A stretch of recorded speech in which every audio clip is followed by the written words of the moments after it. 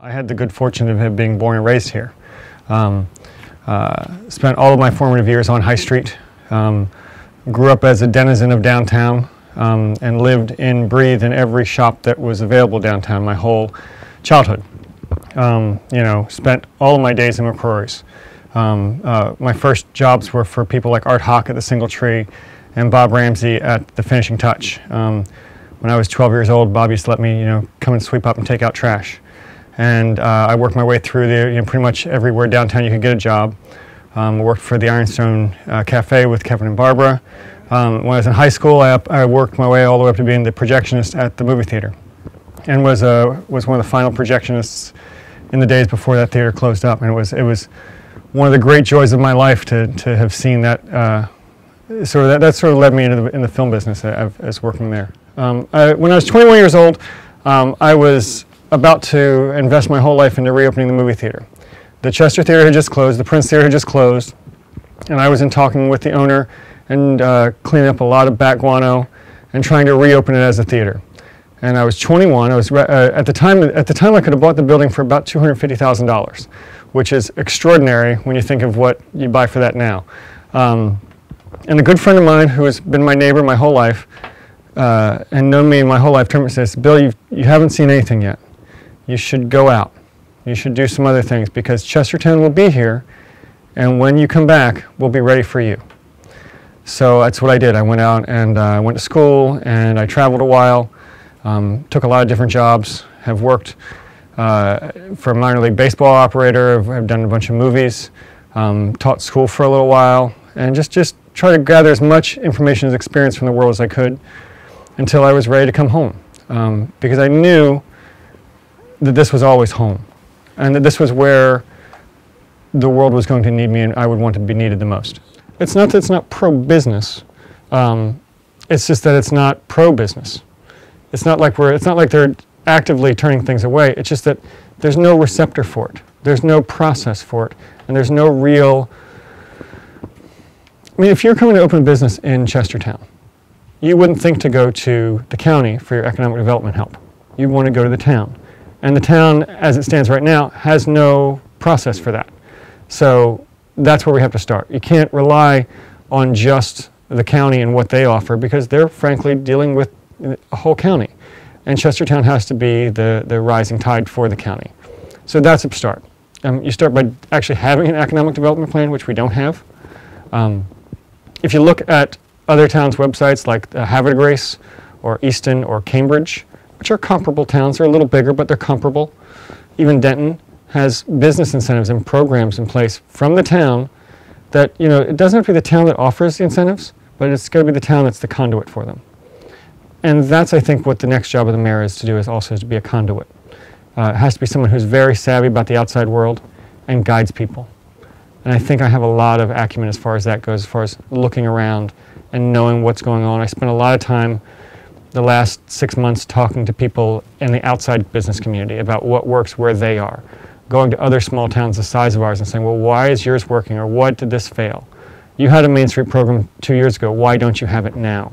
You know, what changed? You're, you're swept into office and you want, you're going to do these two or three things right off the bat. Couple of political capital. It, it, provided I get swept into office with political capital to do so. And I have a council that is um, not completely resistant to change. Uh, uh, I think one of the first things I'd like to do is create a community development corp, which is called a CDC, which in a lot of places follows the Main Street model, except it's a little more broad sweeping. Um, the Main Street model for development, for those that don't know, is a national heritage program that helps a lot of downtowns and small communities do redevelopment and uh, business planning and you know street sweep, all the, all the things that build up a downtown area. Uh, but their, their model is pretty limited to a specific number of blocks. With a CDC, we can apply that across the board of the town and trying to really develop what's wrong with the plaza. Why can't we get certain businesses in there and be proactive towards that? Because so goes the plaza, so goes downtown.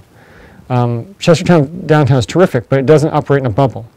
And to think that it does is, you know, belying the fact that have, most of your local community doesn't shop downtown. So you need to be there, but if most of the local community returns to shopping at the plaza, they're more apt to bring some of their business downtown. And some of those daily businesses are more apt to come downtown if the plaza businesses aren't vacant and, and, and waiting for things to fill them. So it's being a more holistic approach. I think we have a really great example of what's going with the college right now that there was finally some, some backlash for the college for the first time as long as I can remember, like legitimate beef with what's going on with the uh, old high school, the Board of Ed building, where something happened and the college made a deal and then that deal changed and then the checks and balances weren't there. The transparency wasn't there. And now after the fact, suddenly people realize, oh wait, that's not how that's going on. And we don't have a procedural guideline to really check that.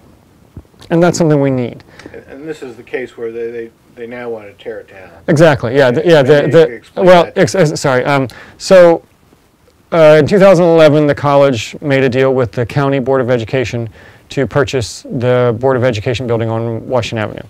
Um, it's an aging building in need of a lot of work, and the county didn't want to upkeep it anymore. The roof is in horrible shape, and it's. I, I'm pretty sure there's a good deal of asbestos in there now. If there's not, there was. Um, it's a, it's, the building needed tremendous repair that the county couldn't afford. So they made a deal with the college to buy the building so the college could utilize it. And it's in a great location for the college, frankly. It's, it's you know, on the cusp of their campus. It, it was a good fit as far as the sale goes. Part, contingent on that deal was a handshake deal that they would keep the western facade, which is the Washington Avenue facade, as, a, as, as it was, so that historically it would look the same and they could build back into it as they wanted to. Retrofit the building, as it were.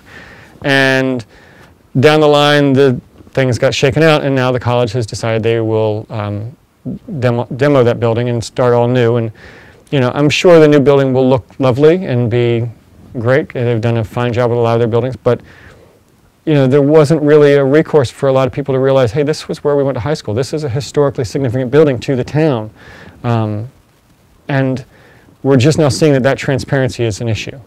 Um, and that's you know, some, someone you know I mean I I heard about that plan months ago and realized that no one was throwing a flag at it. Um, and just now, I mean, we read now in the Kent News the last couple of weeks that you know they're making a little bit of a hubbub about it. And I, and I hope I don't know what I hope happens with the building.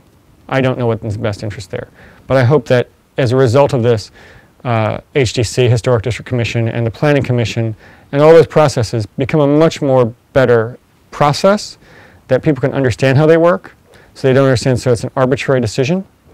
Um, a lot of things that I think people have issue with the town feel like it's because they're arbitrary, or they don't really know from one to the next.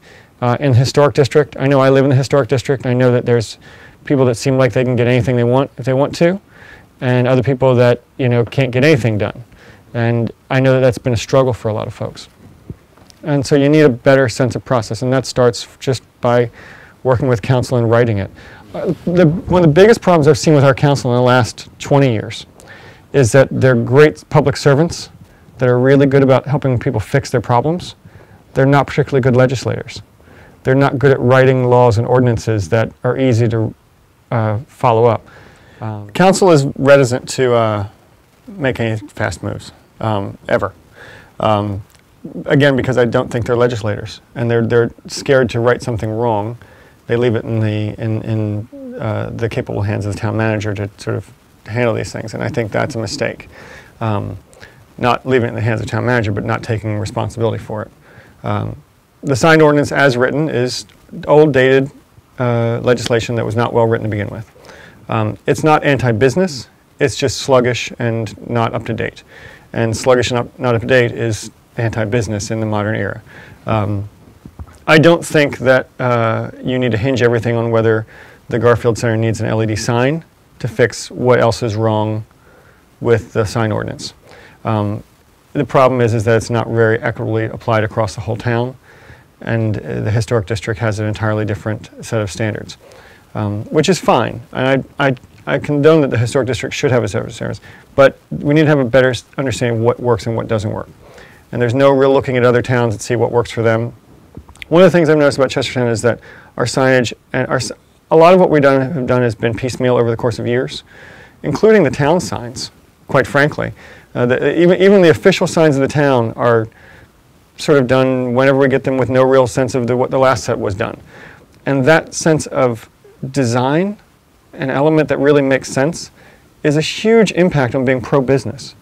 Um, when you go into a, a small town and things look like they fit and belong, you realize they've got it together and there's something worth looking at here. If you go into a small town and things are just old and new and slapdash and, and one is neon and one is the other, then you realize no one's really caring and it's all being done however you want to do it. So that's really, I see the sign ordinance as, as two big issues. One, it needs to be rewritten to be updated. Um, needs to be done in a way that's, that's in, with the modern sense of what business should be and what, what's applicable. And, and with the businesses in mind. You need to talk to them what they want, with some decorum. You, no one needs a 25-foot flashing neon sign in front of any business. We just don't need that. It's not, that's not going to change your business.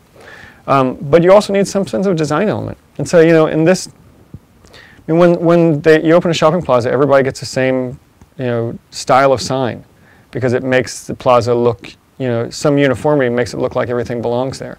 Um, and downtowns and whole towns can do that. You don't have, everyone doesn't to have a green and white sign with white letters, but you can do things in a way that is conducive to looking like it's a unified uh, uh, piece. And I think that's what we can do. Funny, uh, here's a good example of what's wrong with the budget. Um, the rec commission has no say in it, and we don't even get a look at it. If we, if I hadn't been at that meeting that it was approved, and asked for a line item of it, it's not even line itemed in the budget. It's sort of like, well, we've got some money, we'll just throw it in, and then and then. A, a perfect example is last this year. I, have asked for two line items for the rec commission. We asked for some money to show movies in the park. We asked for some money to, to start the bocce league. Both very successful programs, but they were just sort of added in. And this is, there's a lot of loosey goosiness to the budget that I would like to see reformed. I know that uh, that is one of uh, Councilwoman Kuiper's um, major uh, problems, and one of the reasons she got involved in the process to begin with is that there's this sort of this we don't know where it's going and we don't know where it's coming from. Um, I think there's a lot to be said about going line by line and, and showing the accountability for every every budget, and and and starting the beginning of the year saying these are the projects we're doing, and saying this is what we can work with, um, and not being quite so broad termed with everything. So moving on.